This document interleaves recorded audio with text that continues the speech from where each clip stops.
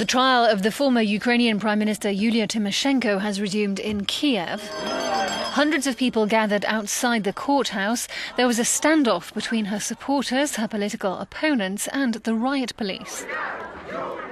Tymoshenko came back to court after spending the weekend in custody on charges of contempt. She's accused of abuse of power, but claims the proceedings are politically motivated. The judge heeded prosecution calls for her to be kept in custody during the trial.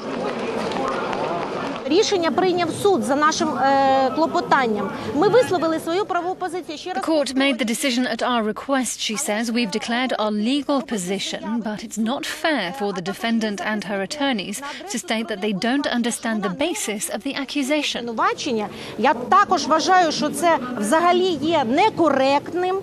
Tymoshenko was a central figure in the Orange Revolution of 2004. The movement overturned current President Viktor Yanukovych's then victory in the election. Tymoshenko claims her trial is an attempt to stop her standing again.